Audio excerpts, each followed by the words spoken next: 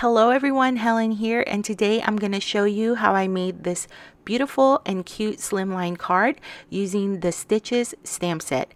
I love the different textures that this stamp set has and here's a closer look.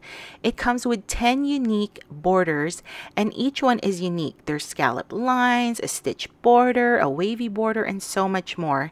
I also brought in the new release Heartbeats die and I'll be using the word die that you see there. And then I also brought in the 5 frames slimline die. This is one of my favorite favorite slimline dies from Whimsy because you can tell a story inside each of those rectangles. Let's get into stamping. I chose seven patterns from the border stamp set and we're going to heat emboss this with white embossing powder. I also chose a purple cardstock because this year's color is purple, so I wanted to tie that into my slimline card.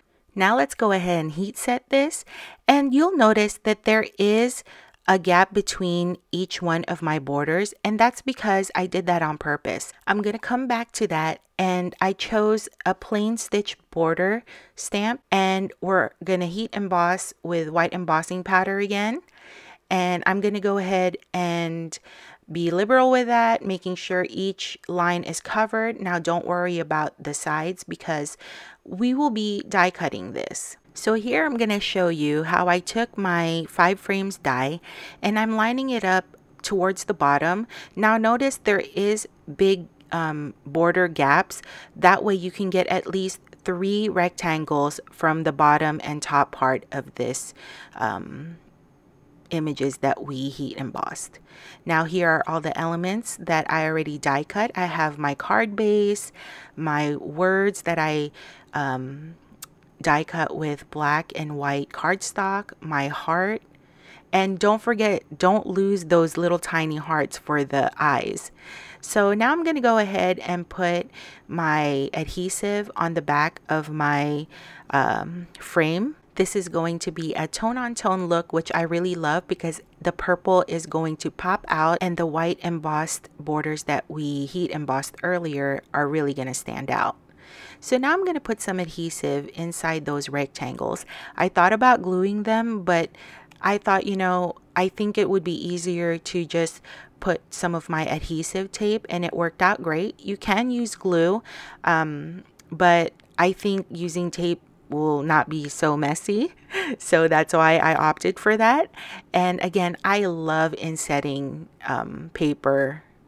It just it's just a perfect fit. It's like a puzzle and it's something that I really enjoy doing.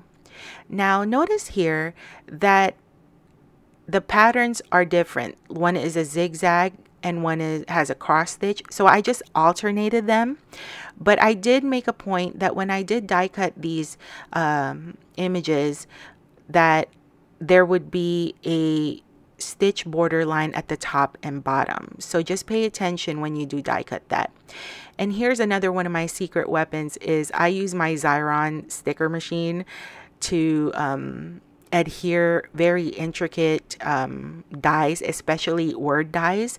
And I'm just going to burnish that down with my bone folder, trying to make sure that each of those nooks and crannies get adhesive. Nothing's going to stick out or whatever. So I'm just burnishing that down. Now I'm going to take the black heart and I'm going to run that through my sticker machine again. And notice here that the shape did change. It kind of got distorted, but don't you worry because once I take this off, the shape will come back to its natural state. Um, I just had to play around with it just a little bit. I think this calls for buying a new and bigger sticker machine. What do you guys think? so now I'm just going to adhere this heart on the left side and then I'm going to go ahead and inset my white cardstock inside. Now our card is coming together beautifully. All we have to do is add our sentiment and just doing one final burnishing down and then I'm going to peel this off carefully. There are so much detail on this word die that I don't want to rip it. And so now I'm going to go ahead and place that right at the bottom and I'm using my stitch border lines there as kind of like a guide to make sure that it is straight going down across. And then, perfect. I'm happy with how that looks. And so now let's peel off our white thinking of you word die. Again, I'm being very, very careful here.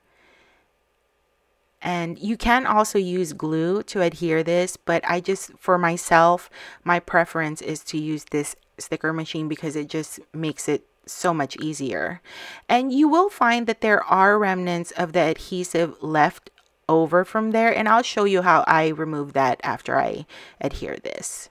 I'll just take one of my um, eraser tools. I'm not sure what it's called, but I'll link it down below. And I just rub it like ever so gently. You don't really need to like erase it like you would erase a pencil.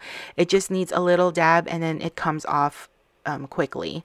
And then those hearts that we saved earlier, I um, I'm gonna take the black and that will go first, and then the white will go on second. So then we can get that two-toned look. Now, the first time I made this card, I actually lost the hearts and I was like, oh my gosh, I didn't even know they were hearts actually. I thought they were just plain circles. And then when I die cut it again, I was like, oh my gosh, it is so cute and adorable with the that little, little tiny heart detail. Now for the last finishing touch, I brought in some of my white polymer clay hearts. After I put these hearts on here, I immediately thought that this is starting to look like a musical sheet, but in a cute way and a good way. Um, I'm also excited to try other colors to recreate this card. I think a bright red would really look nice and it will stand out after you heat emboss those white borders. Well, I hope you enjoyed this video and I hope you'll give it a try. For more Whimsy Stamps inspiration, please follow us on the links down below.